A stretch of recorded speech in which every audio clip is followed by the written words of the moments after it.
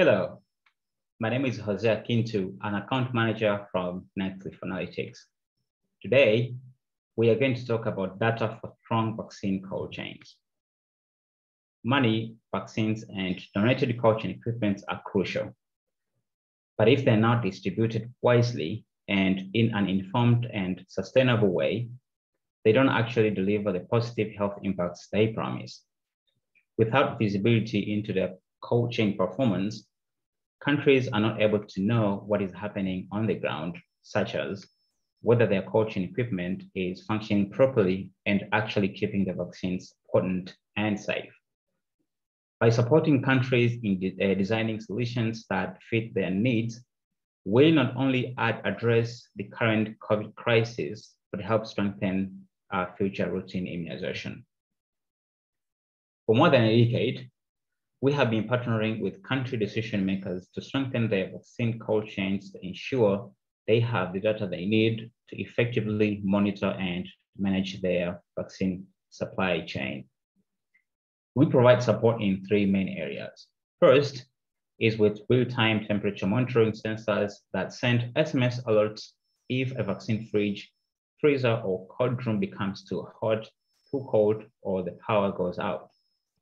Second we have a user-friendly dashboard that allows remote access to cold chain temperature data and provide analytics tools to track performance. Also, we develop a standard operating procedures for nurses, maintenance technicians, supervisors, and of Health that are designed to help healthcare workers respond to alerts and utilize the data dashboard.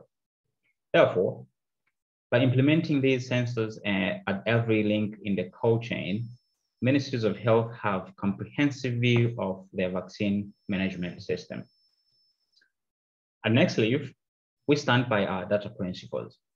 We firmly believe that with access to and ownership of their own data, countries are equipped to drive their own decisions to optimize their cold chain performance, and that data belongs to the country and should be interoperable with existing country systems.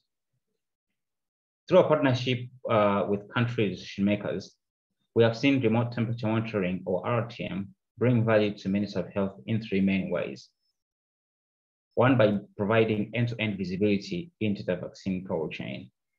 Two, uh, by improved efficiency and vaccine delivery.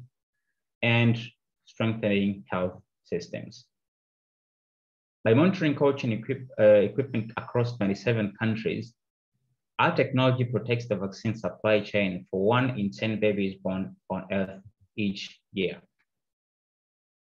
One example of our work is in Kenya, where we helped support equitable COVID vaccine distribution, where we work with our Kenya Minister of Health to monitor all transport routes for Pfizer and Moderna vaccines being moved from national stores to regional health facilities.